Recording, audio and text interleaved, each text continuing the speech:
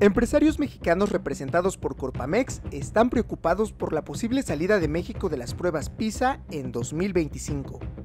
Alertan sobre graves consecuencias para la educación nacional al perder referencia global en matemáticas, ciencia y lectura. México invierte poco en educación, reflejado en bajo gasto por estudiante y recursos limitados según Corpamex. Retroceso en la última prueba PISA evidencia rezago en habilidades esenciales de estudiantes mexicanos. Corpamex insta al gobierno a reconsiderar la salida de PISA, implementar políticas sólidas y aumentar el presupuesto educativo para competir globalmente. Infórmate sobre todo esto en los diversos medios de la red ANCOP.